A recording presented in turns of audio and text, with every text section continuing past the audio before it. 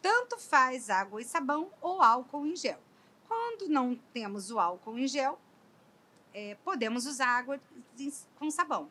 A vantagem do álcool em gel é que ele cabe na bolsa, no bolso e podemos usar em qualquer local. Importante, um momento em que não podemos usar o álcool e temos que usar a água e sabão. É quando olhamos para nossa mão e vimos a sujeira. Não podemos usar o álcool gel, temos que usar água e sabão em, em, quando tem sujeira visível.